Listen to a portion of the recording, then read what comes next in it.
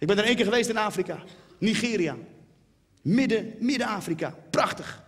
En ik was namelijk uitgenodigd door de Nederlandse gemeenschap in het buitenland. Wist ik niet, maar er wonen ook een hoop Nederlanders in het buitenland. Nou, dit was uh, de Nederlandse gemeenschap in Nigeria. Die hebben één keer per jaar hebben ze feest, een soort Hollands feest. En dan nodigen ze artiesten uit Nederland uit, die treden daar dan op. Nou, dat is zo leuk om te doen. Dat is echt, dan word je naar Nigeria toegevlogen, samen met mijn uh, technische maat.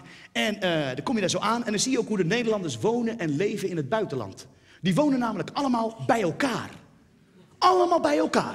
Dat is leuk als je in het buitenland bij elkaar woont. Want dan kun je gewoon Nederlands blijven klessenbessen. En op de koffie, pimpampet, ganzenborden. En dat soort leuke dingen blijven doen met je buren.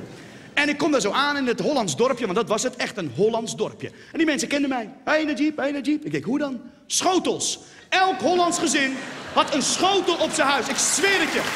Ja, wacht even. Maar de Nigeriaanse regering, die wilde daar een stokje voor steken. Hè? Die had gezegd, die schotels, dat is niet mooi in het straatbeeld, die moeten weg. Ik denk, joh, laat die mensen gewoon een beetje naar Hollandse televisie kijken als ze daar behoefte aan hebben, man. Wat een gelul zeg. Ja. En dan heb je een winkeltje, gewoon een Nederlands winkeltje. Alles wat je in Nigeria niet kunt krijgen, wordt vanuit Nederland ingevlogen. Zo had je daar in dat winkeltje Calvé pindakaas. Nou, dat vind ik de lekkerste pindakaas die er maar bestaat.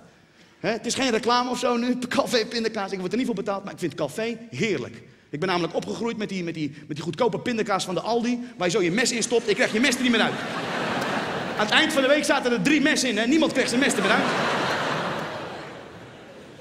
En de dag dat ik moest optreden, dat was echt alleen maar improviseren, maar het was zo leuk. Want het vier tafels tegen elkaar aangeschoven. Nou, daar stond ik op. Grote Nederlandse vlag. En die mensen vroegen nog, eh, zullen we het volkslied zingen? Ik tuurlijk man, wat je wil.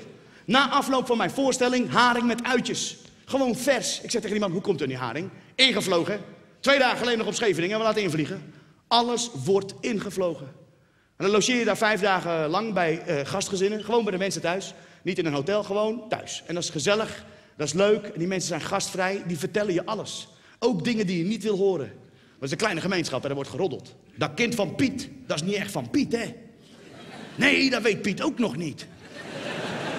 Oké, dat hoef ik niet te weten. Morgen zit ik bij Piet en dan zie ik zijn kind en dan denk ik... Pff, oh shit.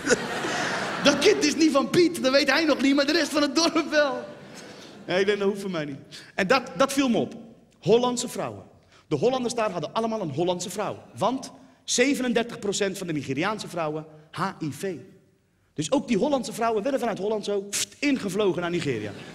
Ja, dat is grappig om te zien. En ze heten daar geen allochtoon, hè, de Nederlanders. Dat heet hier alleen zo. Daar heet het ineens expat.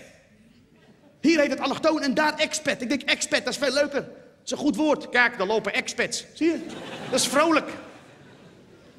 Ja, dat viel me op. En er was een bos. De Nigerianen hadden daar voor de Nederlanders een bos aangelegd. Zodat ze zich een beetje thuis voelen in een, in een bos. Want dat is belangrijk waarschijnlijk als je in het buitenland woont, dat je je eigen bos hebt. Een Hollands bos, weet je wel, met, met wiet, homo-ontmoetingsplekjes, paddenstoelen. Gewoon dat je je thuis voelt, dat is belangrijk.